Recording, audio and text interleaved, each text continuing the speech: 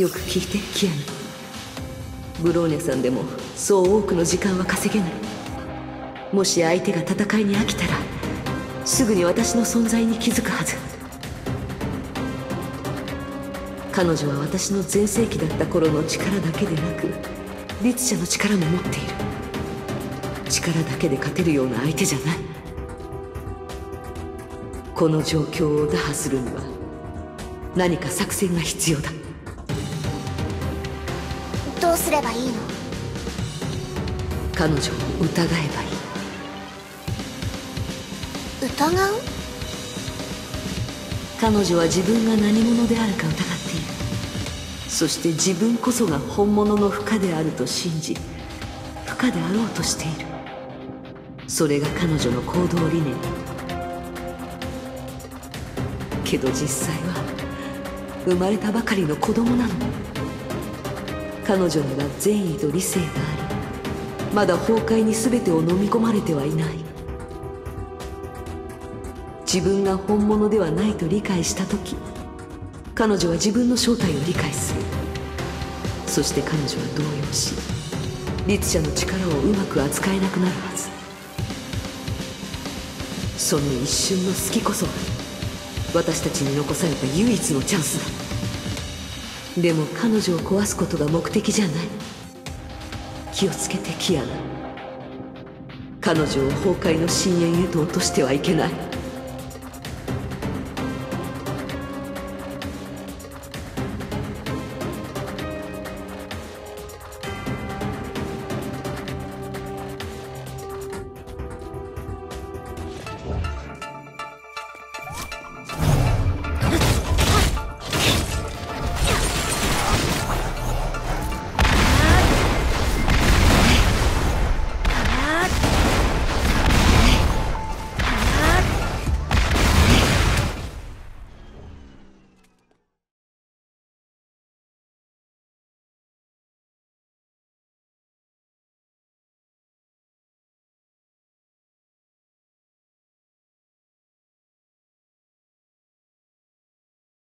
あとは、任せました。任せました？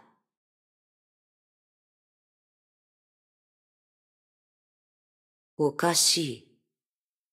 ブローニャさんは、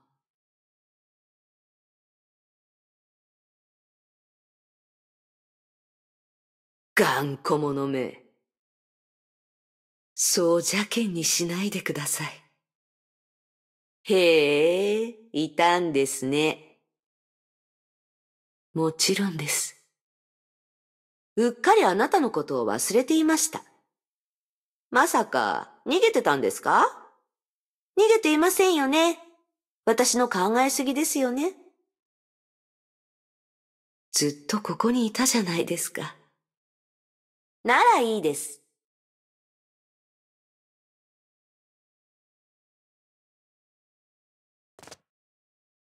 ありがとう、キアナ。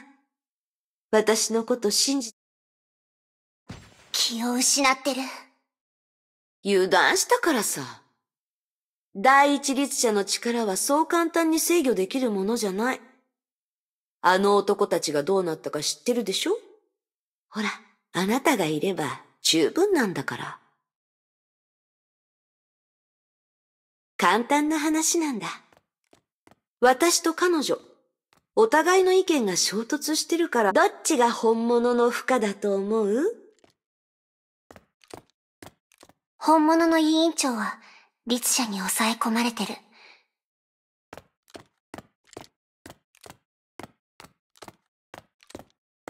あれは、委員長の体を乗っ取った律者。まだ崩壊に操られてない。委員長を助けるには、実を突き、直感で判断してみて。この強くて勇敢で理性のある負荷が本物？それ、私は、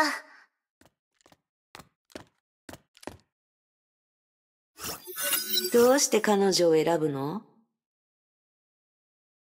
不公平だと思う。世の中公平なことばかりじゃない。で、あなたは何が不公平だというの？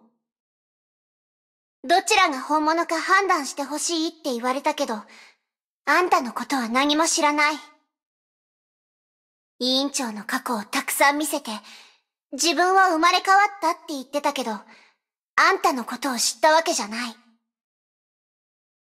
私が知ったのは、あんたが退去山で罠を仕掛けて、私とブローニャちゃんを貶めたことだけ。そんな状況で、公平な判断を下せるわけない。